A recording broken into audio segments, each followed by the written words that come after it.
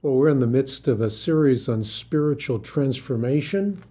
I'm talking about those life practices that change you from a transactional relationship with God to a transformational relationship with the living uh, Lord of the universe. And so I've talked in previous videos about prayer, about reading, reading the Bible, reading other books, reading classics, and so forth. Today I want to talk about reading the book of nature. Now, the book of nature is not something you're going to find in a bookstore. It's not something that you'll find for sale. It's as free as the air you breathe and as vast as the universe. And by reading the book of nature, you can experience God's invisible qualities, his eternal power, as Paul talks about in Romans chapter 1, his divine nature. And uh, let me use an illustration that you might find is maybe off putting a little bit, because Albert Einstein is not a Christian, but Albert Einstein was a reader of the book of nature. I think that's why he was able to do some of the prodigious things that he did. He was an intellect like none other, but he oftentimes saw himself as a little child that entered a huge library filled with books in many different languages. And he was talking about the book of nature. He said that the child knows someone must have written those books. It doesn't know how to understand the languages in which they were written. He doesn't suspect the mysterious order and arrangement of the books and the way they were written. He doesn't know what all of this is about. But what the child knows, and he made himself out to be a child like this, the child knows the attitude of even the most intelligent human being towards God is the attitude of subservience to something that is beyond himself. Now, I pointed this out. Einstein rejected the personal God of the Bible, but he revered the God who gives glimpses of himself in the library of nature, the one who reveals himself in the harmony of all that has been made. You know, as David said, uh, the heavens declare the glory of God. The skies proclaim the work of his hands. Day after day they pour forth speech.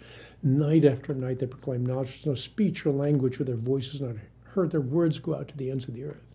For, for Einstein, the library books, the book of nature, were as wonderful as they were mysterious. And so he said the most beautiful emotion we can experience is this mysterious mysterious, this mysterium tremendum. It is the fundamental emotion that stands at the cradle of all true art and science. He to whom this emotion is a stranger, said Einstein, well, he can no longer wonder and stand in awe. It is as though he were dead. I think he used the illustration of being a snuffed out candle. We don't want to be like that. We must ever remember that God has revealed himself not only in the Bible, but the book of nature. And by the way, the parallel between them is so complete that Origen, an early church father, said the person who is asking questions of nature and the person who's asking questions of scripture are bound to arrive at the exact same conclusion. Why? Because the author is the same. Intimacy with the book of nature is directly linked to spiritual renaissance. When we give into the power and presence of the Spirit, we encounter the hand of omnipotence in all that has been made. It is resplendent in the stars. It reveals itself in the diversity of plants and trees. It roils in the rhythm of the waves. It resides in the mystery of the wind. Those who ignore the book of nature, well, they do so at their own peril. I hope that's not you. Because what we truly need is a cleansing of the toxins, an escape from light pollution, so that we can see that the heavens, as I just mentioned, quoting David, declare the glory of God. The skies proclaim the work of his hands.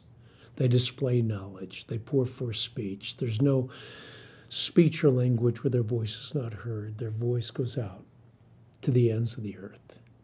Watch the eagle soar. Get out of the house to do that, of course. Listen to the babbling brook. Consider the flowers, the leaves. Allow the differentiated snowflakes to fall softly upon your eyelids. Open your eyes and know that God is near.